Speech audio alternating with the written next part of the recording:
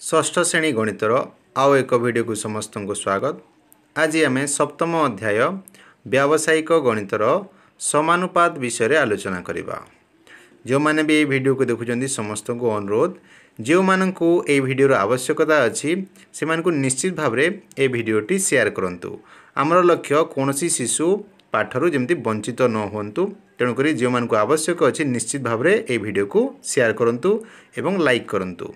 ଆସନ୍ତୁ ଦେଖିବା ସମାନୁପାତ। ଅନୁପାତ ଓ ସମାନୁପାତ ମଧ୍ୟରେ ସମ୍ପର୍କ କ'ଣ? ପାଞ୍ଚଟି କଲମ ଅଛି। ପାଞ୍ଚଟି କଲମର ଦାମ ପଇଁଚାଳିଶ ଟଙ୍କା। କିଛି ଖାତା ଅଛି। ଆଠଟି ଖାତା ଅଛି। ଆଠଟି ଖାତାର ଦାମ ହେଉଛି ବାସ୍ତରି ଟଙ୍କା।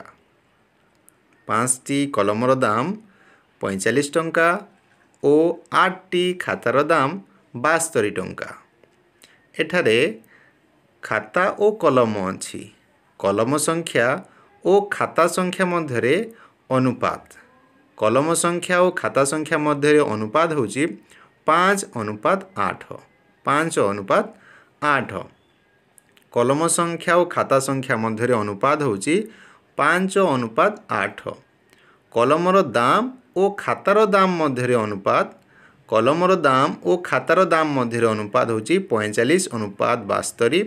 ୟାକୁ ଯଦି ଆମେ ଲଘିଷ୍ଠ କରିବା ବା ଉଭୟର ସାଧାରଣ ଗୁଣନୀୟକ ନଅ ଦ୍ୱାରା ଭାଗ କରିବା ତାହେଲେ ଆମେ ପାଇବା ପାଞ୍ଚ ଓ ଆଠ। ତାହେଲେ ପଇଁଚାଳିଶ ବଦଳରେ ପାଞ୍ଚ ପାଇଲେ ବାସ୍ତରି ବଦଳରେ ଆଠ ପାଇଲେ। ତେବେ ପଇଁଚାଳିଶ ଅନୁପାତ ବାସ୍ତରି ସମାନ ହେଲା ପାଞ୍ଚ ଅନୁପାତ ଆଠ। ଆମେ ଏଠି ଦେଖିଲେ କଲମ ଓ ଖାତାର ଅନୁପାତ। କଲମ ଓ ଖାତାର ଅନୁପାତ ସେମାନଙ୍କର ଦାମର ଅନୁପାତ ଅର୍ଥାତ୍ ପାଞ୍ଚ ଅନୁପାତ ଆଠ ସମାନ ପଇଁଚାଳିଶ ଅନୁପାତ ବାସ୍ତରି ହେଉଛି। କଲମର ଓ ଖାତା ଖାତା ଓ କଲମର ଯେଉଁ ଅନୁପାତ ବାହାର କଲେ କଲମ ଓ ଖାତାର ଅନୁପାତ ସେମାନଙ୍କର ଦାମର ଅନୁପାତ ସହିତ ସମାନ ହେଲା। ଆମେ ଦେଖିଲେ ଯେ ପାଞ୍ଚ ଅନୁପାତ ଆଠ ସମାନ ପଇଁଚାଳିଶ ଅନୁପାତ ବାସ୍ତରି। ଆମେ ଲେଖିବା ପାଞ୍ଚ ଅନୁପାତ आठ समानुपात पचालिस अनुपात बास्तरी। एम कही पार पाँच आठ पैँचालिस बास्तरी समानुपा अटे समान चिह्नको आमे दुईटी समानुपात चिन्ह व्यवहार करके लेखि अनुपात चिन्ह दुई दुईटा व्यवहार कले चिन्ह रूपे प्रकाशित हुँदा आग्र आमे अनुपात व्यवहार गरिसकिछु दुईटी संख्यार अनुपात अन्य दुईटी संख्यार अनुपतसह समान हो चारोट सङ्ख्याको समानुपत अनि कुरा ବା ଚାରୋଟି ଯାକ ସଂଖ୍ୟାକୁ ସମାନୁପାତି କୁହାଯାଏ। ସମାନୁପାତର ଚିହ୍ନ ହେଉଛି ଏଇଟା ଯେଉଁଟା ଦିଆ ହେଇଛି ଚାରୋଟି ବିନ୍ଦୁ। ଅନୁପାତରେ ଦୁଇଟି ବିନ୍ଦୁ ବ୍ୟବହାର କରାହେଉଥିଲା ସମାନୁପାତରେ ଚାରୋଟି ବିନ୍ଦୁ ବ୍ୟବହାର କରାହେଉଛି ଏହିପରି ଭାବରେ। ଏହି ଚିହ୍ନକୁ ସମାନ ବୋଲି ମଧ୍ୟ ଆମେ ପଢ଼ିବା। ଯେତେବେଳେ ପଢ଼ିବା ସମାନ ବୋଲି ପଢ଼ିବା। ଆମେ ପାଞ୍ଚ ଅନୁପାତ ଆଠ ସମାନ ପଇଁଚାଳିଶ ଅନୁପାତ ବାସ୍ତରୀକୁ ପାଞ୍ଚ ଅନୁପାତ ଆଠ ସମାନୁପାତ ପଇଁଚାଳିଶ ଅନୁପାତ ବାସ୍ତରୀ ଲେଖିପାରିବା। ସମାନୁପାତ ସମ୍ପୃକ୍ତ କେତେକ ପଦ? ଚାରୋଟି ପଦ ଏ ଜାଗାରେ ଅଛି। ପ୍ରଥମ ଅନୁପାତ ଯେଉଁ ପାଞ୍ଚ ଅନୁପାତ ଆଠ ହେଲା ଏ ଜାଗାରେ ପାଞ୍ଚକୁ ପୂର୍ବ ପଦ କୁହାଯାଏ ଏବଂ ପ୍ରଥମ ଅନୁପାତର ଦ୍ୱିତୀୟ ପଦକୁ ପର ପଦ କୁହାଯାଏ। ଠିକ୍ ସେହିପରି ଦ୍ୱିତୀୟ ଅନୁପାତ ଯେଉଁ ଅଛି ପଇଁଚାଳିଶ ଅନୁପାତ ବାସ୍ତରୀ ୟାର ପ୍ରଥମ ପଦକୁ ପୂର୍ବ ପଦ ଏବଂ ବାସ୍ତରୀ ଦ୍ୱିତୀୟ ପଦକୁ ପରପଦ କୁହାଯାଏ ଏ ଜାଗାରେ ପୂର୍ବ ପଦ ହେଲା ପଇଁଚାଳିଶ ପରପଦ ହେଲା ବାସ୍ତରୀ ଏ ଜାଗାରେ ଆମେ ଦେଖିପାରୁଥିବା ପ୍ରଥମ ଅନୁପାତର ଦ୍ୱିତୀୟ ପଦ ଆଠ ଏବଂ ଦ୍ୱିତୀୟ ଅନୁପାତର ପ୍ରଥମ ପଦ ପଇଁଚାଳିଶ ଏମାନେ ହେଲେ ମଧ୍ୟ ସମାନୁପାତି ମଧ୍ୟ ପଦ କୁହାଯାଏ ଏମାନଙ୍କୁ ତାପରେ ପ୍ରଥମ ଅନୁପାତର ପ୍ରଥମ ପଦ ଏବଂ ଦ୍ୱିତୀୟ ଅନୁପାତର ଶେଷ ପଦ ଏ ଦୁଇଟା ପ୍ରାନ୍ତରେ ଥିବାରୁ ଏମାନଙ୍କୁ ପ୍ରାନ୍ତ ପଦ କୁହାଯାଏ। ପାଞ୍ଚ ଓ ବାସ୍ତରୀ ହେଉଛନ୍ତି ପ୍ରାନ୍ତ ପଦ ଆଠ ଓ ପଇଁଚାଳିଶ ହେଉଛନ୍ତି ମଧ୍ୟପଦ ଏଇ ଦୁଇଟି ଅନୁପାତ ସମାନୁପାତରେ ପ୍ରଥମେ ଯେଉଁ ପାଞ୍ଚ ଅଛି ଏଇଟା ହେଲା ପ୍ରଥମ ସମାନୁପାତି। ଦ୍ୱିତୀୟରେ ଆଠ ଅଛି ଦ୍ୱିତୀୟ ପଦ ଅଛି। ଆଠ ଏହାକୁ କୁହାଯାଏ ଦ୍ୱିତୀୟ ସମାନୁପାତି। ତୃତୀୟରେ ଅଛି ପଇଁଚାଳିଶ। ପଇଁଚାଳିଶକୁ କୁହାଯାଏ ତୃତୀୟ ସମାନୁପାତି। ଚତୁର୍ଥରେ ଅଛି ବାସ୍ତରୀ। ବାସ୍ତରୀକୁ କୁହାଯାଏ ଚତୁର୍ଥ ସମାନୁପାତି। ପ୍ରଥମରେ ଯେଉଁଟା ଅଛି ପ୍ରଥମ ସମାନୁପାତି ଦ୍ୱିତୀୟରେ ଯେଉଁଟା ରହିଲା ଦ୍ୱିତୀୟ ସମାନୁପାତି ତୃତୀୟରେ ପଇଁଚାଳିଶ ଅଛି ସେଇଟା ତୃତୀୟ ସମାନୁପାତି ଶେଷରେ ବା ଚତୁର୍ଥରେ ରହିଲା ବାସ୍ତରୀ ତାହା ହେଲା ଚତୁର୍ଥ ସମାନୁପାତି। ପ୍ରଥମ ଅନୁପାତ ସହ ଅନ୍ୟ କେଉଁ ଅନୁପାତଟି ଏକ ସମାନୁପାତ ଗଠନ କରେ ବାଛ? ଏକ ଅନୁପାତ ଦୁଇ ସହିତ କେଉଁଟା ଏ ଜାଗାରେ ସମାନୁପାତ ଗଠନ କରିବ ଆମେ ଦେଖିବା ତାହେଲେ ଏକ ଅନୁପାତ ଦୁଇ ପରେ ଅଛି ତିନି ଅନୁପାତ ଚାରି ତିନି ଅନୁପାତ ଚାରିକୁ ଲଘିଷ୍ଠ କଲେ ସେ ତିନି ଅନୁପାତ ତିନି ଓ ଚାରି ରହିବ କୋଡ଼ିଏ ଅନୁ ଆଠ ଅନୁପାତ କୋଡ଼ିଏକୁ ଆଠ ଓ କୋଡ଼ିଏକୁ ଆମେ ଉଭୟକୁ ଚାରି ଦ୍ୱାରା ଭାଗ କଲେ ଆମେ ପାଇବା ଦୁଇ ବିଭକ୍ତ ପାଞ୍ଚ ତେବେ ଆଠ ବିଭକ୍ତ କୋଡ଼ିଏ ସମାନ ଆମେ ପାଇବା ଦୁଇ ଅନୁପାତ ପାଞ୍ଚ। ଆଠ ଆଉ ଷୋହଳ ଉଭୟକୁ ଯଦି ଆମେ ସେମାନଙ୍କର ଗରିଷ୍ଠ ସାଧାରଣ ଗୁଣନୀୟକ ସହିତ ଆଠ ଦ୍ୱାରା ଭାଗ କଲେ ଆମେ ପାଇଲେ ଏକ ବିଭକ୍ତ ଦୁଇ ତେଣୁକରି ଆଠ ଅନୁପାତ ଷୋହଳ ସମାନ ହେଲା ଏକ ଅନୁପାତ ଦୁଇ ଏ ଜାଗାରେ ଆଠ ଅନୁପାତ ଷୋହଳ ସମାନୁପାତି ହେବ। ତିନି ଅନୁପାତ ଚାରି ସହିତ ଆମେ ବାହାର କରିବା ତାହେଲେ ଚାରି ଅନୁପାତ ତିନି ୟାକୁ ଲଘିଷ୍ଠ କଲେ ସେଇଟା ହେବ।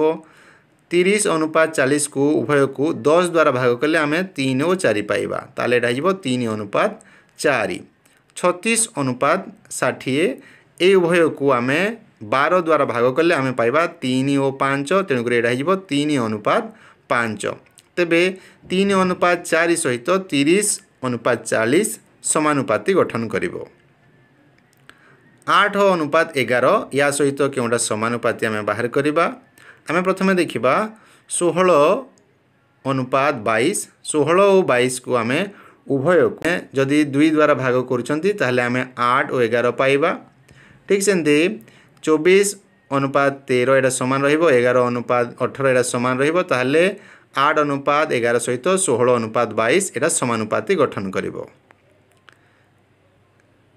ଏକ ସମାନୁପାତର ପ୍ରାନ୍ତପଦ ଓ ମଧ୍ୟପଦ ମଧ୍ୟରେ ସମ୍ପର୍କ। ଏ ଜାଗାରେ ମଧ୍ୟପଦ ହେଉଛନ୍ତି ଆଠ ଓ ପଇଁଚାଳିଶ ଆଠ ଓ ପଇଁଚାଳିଶ ଉଭୟ ମଝିରେ ଅଛନ୍ତି ସେ ମଧ୍ୟପଦ ଏବଂ ପାଞ୍ଚ ଓ ବାସ୍ତରୀ ଏମାନେ ପ୍ରାନ୍ତରେ ବା ସାଇଡ଼୍ରେ ଅଛନ୍ତି ତେଣୁକରି ଏମାନେ ପ୍ରାନ୍ତ ପଦ ଅଟନ୍ତି ମଧ୍ୟପଦ ହେଲେ ଆଠ ଓ ପଇଁଚାଳିଶ ପ୍ରାନ୍ତ ପଦ ହେଲେ ପାଞ୍ଚ ଓ ବାସ୍ତରୀ ପ୍ରାନ୍ତ ପଦ ଦ୍ୱୟର ଆମେ ଗୁଣଫଳ ବାହାର କରିବା ପାଞ୍ଚ ଓ ବାସ୍ତରୀର ଗୁଣଫଳ ହେଲା ତିନିଶହ ଷାଠିଏ। ପ୍ରାନ୍ତପଦ ଦ୍ୱୟର ଗୁଣଫଳ ହେଲା ପାଞ୍ଚ ଗୁଣନ ବାସ୍ତରୀ ସମାନ ହେଲା ତିନିଶହ ଷାଠିଏ। ମଧ୍ୟପଦ ଦୁଇଟି ହେଲେ ଆଠ ଓ ପଇଁଚାଳିଶ। ଆଠ ଗୁଣନ ପଇଁଚାଳିଶ କଲେ ମଧ୍ୟ ଏଇଟା ହେଇଗଲା ତିନିଶହ ଷାଠିଏ। ଆମେ ଏଇଠି ଦେଖିଲେ ପ୍ରାନ୍ତପଦ ଦ୍ୱୟର ଗୁଣଫଳ ଯାହା ମଧ୍ୟପଦ ଦ୍ୱୟର ଗୁଣଫଳ ମଧ୍ୟ ତାହା ହେଉଛି। ଉଭୟ ତିନିଶହ ଷାଠିଏ ହେଲା। ତାହେଲେ ଏଥିରୁ ଆମେ ଜାଣିଲେ ପ୍ରାନ୍ତପଦ ଦ୍ୱୟର ଗୁଣଫଳ ସମାନ ମଧ୍ୟପଦ ଦ୍ୱୟର ଗୁଣଫଳ। ଏକ ଅନୁପାତ ଦୁଇ ସମାନୁପାତ ଆଠ ଅନୁପାତ ଷୋହଳ ପଦ ଚାରୋଟି ସମାନୁପାତି ଅଟନ୍ତି ଏଥିରେ ଆମେ ଦେଖିବା ପ୍ରାନ୍ତପଦ ଦ୍ୱୟର ଗୁଣଫଳ ପ୍ରାନ୍ତପଦ ହେଲେ ଏକ ଓ ଷୋହଳ ଏମାନଙ୍କୁ ଗୁଣନ କଲେ ହେଲା ଷୋହଳ। ମଧ୍ୟପଦ ଦ୍ୱୟକୁ ଗୁଣନ କଲେ ଦୁଇ ଗୁଣନ ଆଠ କଲେ ଆମେ ପାଇଲେ ଷୋହଳ। ମଧ୍ୟପଦ ଦ୍ୱୟର ଗୁଣଫଳ ହେଲା ଷୋହଳ। ତେବେ ଏକ ଗୁଣନ ଷୋହଳ କଲେ ଯାହା ହେଲା ଦୁଇ ଗୁଣନ ଆଠ କଲେ ମଧ୍ୟ ତାହା ହେଲା। ତେବେ ପ୍ରାନ୍ତପଦ ଦ୍ୱୟର ଗୁଣଫଳ ଯାହା ମଧ୍ୟପଦ ଦ୍ୱୟର ଗୁଣଫଳ ତାହା ହେଉଛି। ତିନି ଅନୁପାତ ଚାରି ସମାନୁପାତ ଚଉବନ ଅନୁପାତ ବାସ୍ତରୀ ପଦ ଚାରୋଟି ସମାନୁପାତ ଅଟନ୍ତି। ତେଣୁକରି ପ୍ରାନ୍ତପଦ ଦ୍ୱୟର ଗୁଣଫଳ ତିନି ଗୁଣନ ବାସ୍ତରୀ କଲେ ହେଲା ଦୁଇଶହ ଷୋହଳ। ଏହାର ପ୍ରାନ୍ତପଦ ଆମେ ପାଇଲେ ଦୁଇଶହ ଷୋହଳ ମଧ୍ୟପଦ ଦ୍ୱୟର ଗୁଣଫଳ ଚାରି ଗୁଣନ ଚଉବନ କଲେ ଏଇଟା ମଧ୍ୟ ହେଲା ଦୁଇଶହ ଷୋହଳ। ତେଣୁକରି ଆମେ ଦେଖିଲେ ପ୍ରାନ୍ତପଦ ଦ୍ୱୟର ଗୁଣଫଳ ଯାହା ହେଉଛି ଏ ଜାଗାରେ ମଧ୍ୟପଦ ଦ୍ୱୟର ଗୁଣଫଳ ମଧ୍ୟ ତାହା ହେଉଛି। ଚାରୋଟି ପଦ ସମାନୁପାତି ଅଟନ୍ତି କି? ଆମେ ପରୀକ୍ଷା କରିବା। ପଦ ଚାରୋଟି ସମାନୁପାତ ଅଟନ୍ତି କି ନାହିଁ ପରୀକ୍ଷା କରିବା। ଦଶ କୋଡ଼ିଏ ତିରିଶ ଓ ଷାଠିଏ ସଂଖ୍ୟା ଚାରୋଟି ସମାନୁପାତ ଅଟନ୍ତି କି ନାହିଁ? ଦଶ ଓ କୋଡ଼ିଏ ପ୍ରଥମ ଅନୁପାତ ଦେଖିବା। ଦଶ ଓ କୋଡ଼ିଏ ଉଭୟକୁ ସେମାନଙ୍କର ସାଧାରଣ ଗୁଣନୀୟକ ଦ୍ୱାରା ଭାଗ କଲେ ଆମେ ପାଇବା ଏକ ଓ ଦୁଇ। ଦଶ ବଦଳରେ ଆମେ ଏକ ପାଇଲେ କୋଡ଼ିଏ ବଦଳରେ ଦୁଇ ପାଇଲେ। ତାହେଲେ ଏଇଟା ହେଲା ଏକ ଅନୁପାତ ଦୁଇ। 30 ओ 60 को अनुपात बारे कले 30 ओ 60 को समान साधारण गुणनिक मान द्वारा भाग कले 30 बदल रे पाइले एक 60 ए बदल रे पाइले दुई। तले एडा अनुपात हला एक अनुपात दुई। उभय अनुपात ए जगे समान हला। तबे दस अनुपात 20 समान 30 अनुपात 60 अटे। तन उभय अनुपात समान हेति बारो ए जगे पद चारउटी समानुपाती अटन्ती। एरे 10 20 30 ओ 60 ए माने समानुपाती अटन्ती। ଚାରି ସାତ ଆଠ ଚଉଦ ସଂଖ୍ୟା ଗୁଡ଼ିକ ସମାନୁପାତି ଅଟନ୍ତି କି? ପ୍ରଥମ ପ୍ରଣାଳୀରେ ଯଦି କରିବା ଚାରି ଓ ସାତର ଅନୁପାତ ବାହାର କରିବା। ଚାରି ଓ ସାତର ଅନୁପାତ ହେବ ଚାରି ଅନୁପାତ ସାତ କାରଣ ଏଇଟା ଆଉ ଲଘିଷ୍ଠ ହୋଇପାରିବ ନାହିଁ।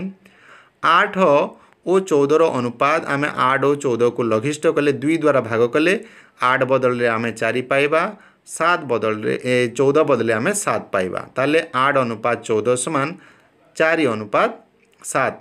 ଏଣୁ ଉଭୟ ସମାନ ହେଲା ତେଣୁକରି ଚାରି ଅନୁପାତ ସାତ ସମାନ ଆଠ ଅନୁପାତ ଚଉଦ। ଏ ଜାଗାରେ ଚାରି ସାତ ଆଠ ଚଉଦ ସମାନୁପାତି ଅଟନ୍ତି। ଦ୍ୱିତୀୟ ପ୍ରଣାଳୀରେ ଆମେ ଯଦି ଦେଖିବା ଏ ଜାଗାରେ ଆମେ ପ୍ରାନ୍ତପଦ ଦ୍ୱୟର ଗୁଣଫଳ ବାହାର କରିବା। ପ୍ରାନ୍ତପଦ ଦୁଇଟି ହେଲେ ଚାରି ଓ ଚଉଦ ଗୁଣନ କଲେ ହେଲା ଛପନ। ତାପରେ ଆମେ ବାହାର କରିବା ମଧ୍ୟପଦ ଦ୍ୱୟର ଗୁଣଫଳ। ମଧ୍ୟପଦ ଦୁଇଟି ହେଲେ ସାତ ଓ ଆଠ ସେମାନଙ୍କର ଗୁଣଫଳ ମଧ୍ୟ ହେଲା ଛପନ। ଉଭୟ କ୍ଷେତ୍ରରେ ଗୁଣଫଳ। ଛପନ ହେଉଛି ତେଣୁକରି ପ୍ରାନ୍ତପଦ ଦ୍ୱୟର ଗୁଣଫଳ ଯାହା ମଧ୍ୟପଦ ଦ୍ୱୟର ଗୁଣଫଳ। ତାହା ତେଣୁକରି ଏ ଜାଗାରେ ଚାରି ଅନୁପାତ ସାତ ସମାନ ଆଠ ଅନୁପାତ ଚଉଦ। ତେବେ ଏ ଜାଗାରେ ପଦ ଚାରୋଟି ସମାନୁପାତି ଅଟନ୍ତି। ଶହେ ନବେ ଅନୁପାତ ଛୟସ୍ତରୀ ସମାନୁପାତ ଦଶ ଅନୁପାତ ଚାରି। ସମାନୁପାତିଟି ଠିକ୍ ବା ଭୁଲ ପରୀକ୍ଷା କର। ଏହାକୁ ଆମେ ପରୀକ୍ଷା କରି ଦେଖିବା।